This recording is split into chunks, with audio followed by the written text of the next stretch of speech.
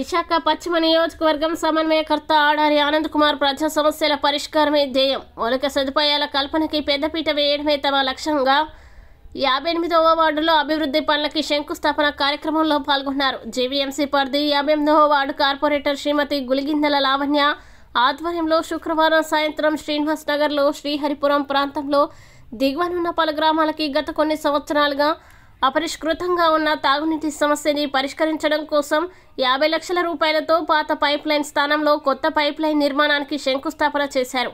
అదేవిధంగా ఇరవై నాలుగు లక్షల రూపాయలతో నిర్మించిన సీసీ రోడ్లని ప్రారంభించారు.